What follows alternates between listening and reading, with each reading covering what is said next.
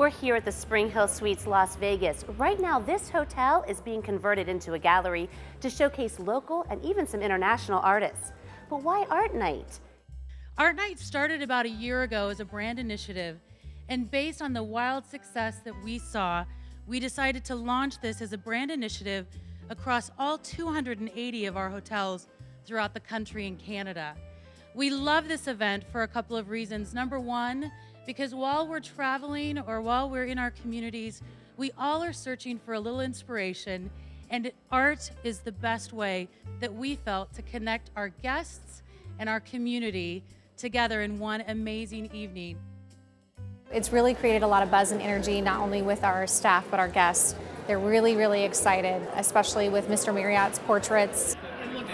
We wanted to do a personal touch for this show, and I've always associated the name Marriott with hotels. I discovered that they started with A&W Root Beer, which I'd never known. I thought it was such a great American success story, how they started so small and became this major and really wonderful corporation. So I wanted to get a touch of that root beer feel in there. SpringHill Suites and Think Art got together and it was a wonderful collaboration. We want to help artists have a way to showcase, to promote themselves, and in a way to help them build their skills. So we want to work with students, encourage them about the arts, because without art, there's no culture. So the whole thing about Think Art is just that, think art.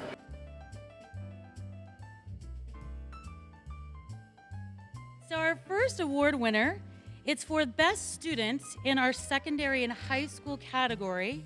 And the winner goes to Sabrina Vihome for her piece, Art and Here We Go. Our next Art Night Award is in the category of post-secondary or college level students. So this is for the best student in that category. It goes to Kim Johnson for her piece called Dance. Our next SpringHill Suites Art Night Award goes to Best of Show.